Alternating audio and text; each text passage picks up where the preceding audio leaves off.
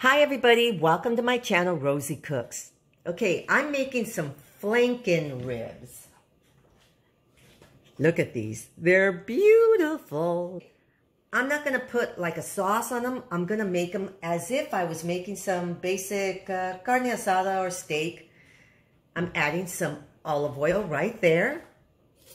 And now I'm gonna put my flanken ribs with the hot pan. You can put any sauce, whatever you want. But I'm just going to put some seasoning. The sizzle is still there, but it's not as loud as before. So this right here is lemon pepper seasoning.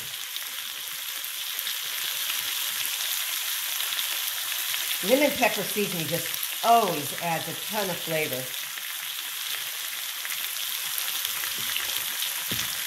This is garlic powder.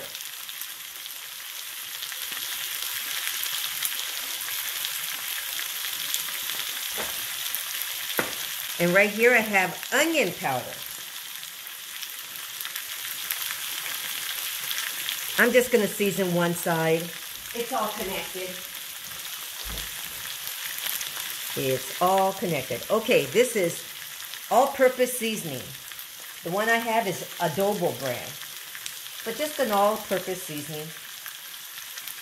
Now that's going to give my flanken ribs a ton of flavor. And I'm just going to let it cook up for a little bit until I really start to see a lot of this red coming up. The, the juices are all coming up to the surface. When I see that, when it's, but I, I just want to see it more and then it'll be time to flip. Okay, so you can see a lot of the red juices have all come to the surface. So now I'm going to start flipping.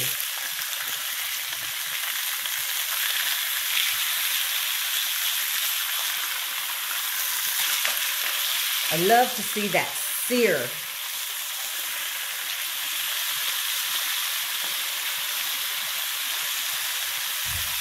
Okay.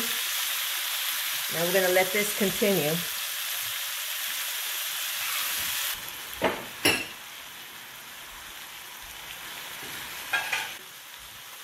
A lot of their juices, internal juices are coming out.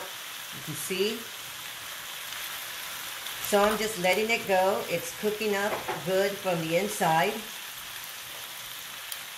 And eventually, I'm going to raise this heat because I'm going to want it to be really seared on both sides. So I'm going to flip them over again.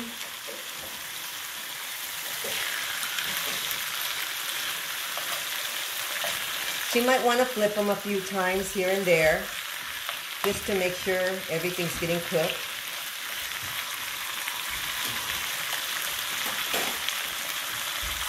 So I'd say these are about 80% cooked.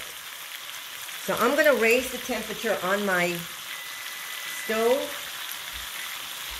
because I'm going to want them to start becoming seared on the on both sides.